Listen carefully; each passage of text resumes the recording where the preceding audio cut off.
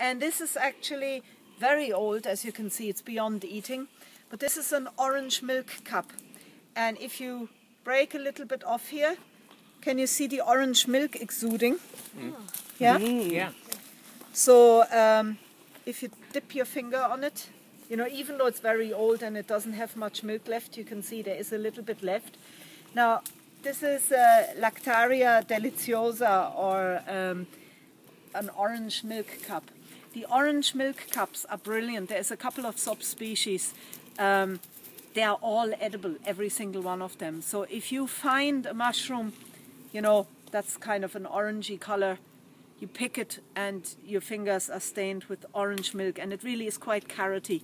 It never changes, you know, it's always this, this color. They're all edible. So these are a fantastic beginner's mushroom. You cannot mistake that for anything else, you know. Um, I, I call these the builder's mushroom because they are not, um, normally you don't dry them or anything. You just basically get nice, fresh, young exemplars.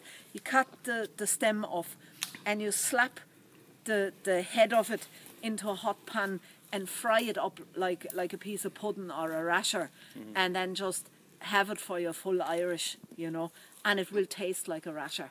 You, you fry it crispy. It's one of the few ones that you are not like carefully sauteing in butter, you know. This one just slap it into the pan and, you know, a bit of salt, bit of pepper, tack, you know, and you have your fantastic stuff.